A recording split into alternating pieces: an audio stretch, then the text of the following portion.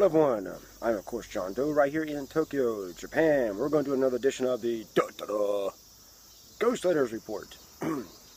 now very recently, the UN Committee on the Elimination of Racial Discrimination has come out and strongly, to put it lightly, urged Japan to regulate hate speech by law and to basically eliminate it very strong statement. They want it from top to bottom, all the way through society. They're saying Japan, you need to deal with this.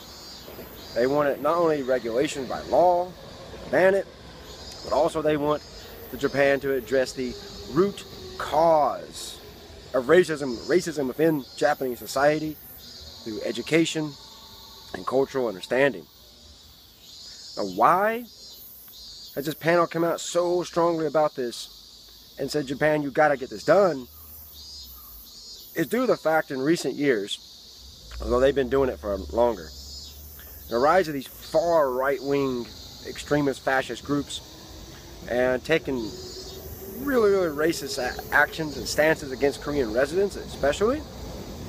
Uh, the rallies, they, they have these rallies here in Tokyo and various parts of Japan where they just come out with every racist, hateful thing they can say that only incites violence, both objective and subjectively, within society and fuels this hatred.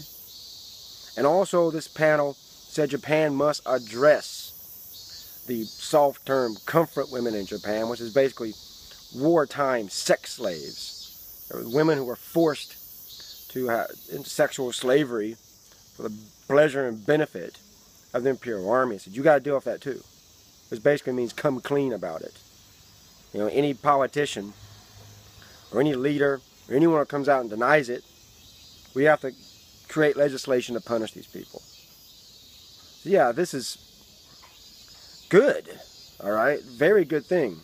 But will the Japanese government follow suit and address this and deal with it properly? Well, this could go two ways here, right? Now you would think it being the best interest of the current far-right government we have to address this and enact these laws and take these steps in order to save their own political ass. You know, because the bourgeois here in Japan have a history of not being able to play well with the rest of the international community. And every time the U Japan is taken to the UN, they, this is the type of rulings that come down. It's a basically, fuck you, you know, you're putting a monkey wrench in everything we're trying to accomplish. You're going to stop this.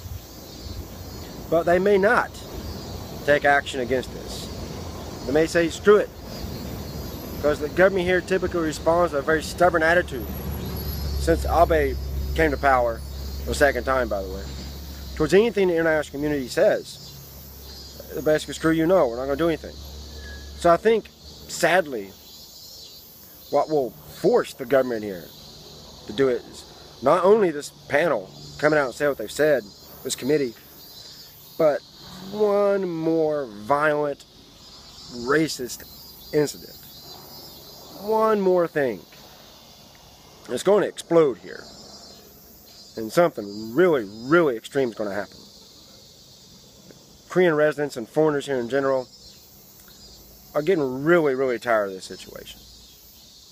People come here, they make lives here, they settle down here, they're part of society, they pay into the system, and they're treated like this. You it's got to stop.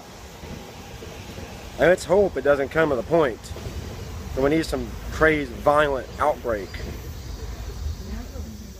based on this type of behavior to get to stop. But it may in fact happen. Depends on how far the government here in Japan wants to push this. How much they more they think they can allow these far right groups to get away with because it keeps on getting worse and worse here. It doesn't get any better. You know, we have instances where they go down to the Korean parts of Tokyo, scream a bunch of hateful shit and, and spark violent run-ins with people. And that, that's objective violence. And that just spurs object, subjective violence in the media and public figures. And politicians get ballsy and come out and say these crazy shit that, you know, that sparks hatred within society. It doesn't allow any issues to really get settled. It doesn't allow society to meld properly. Keeps, keeps us all at each other's throats. So overall, it's just bad to let this keep going on. But yeah, if action isn't taken soon, the situation here is going to explode. Because eventually something's going to spark a really violent outbreak. People who are discriminated against and treated like crap are going to fight back in a really, really, really um, material way, real way. So yeah, Japan, it's time we dealt with this. It's time that we grow up. If you enjoyed this video, hey, there should be a try a clickable link here. Subscribe. You get lots of videos like this.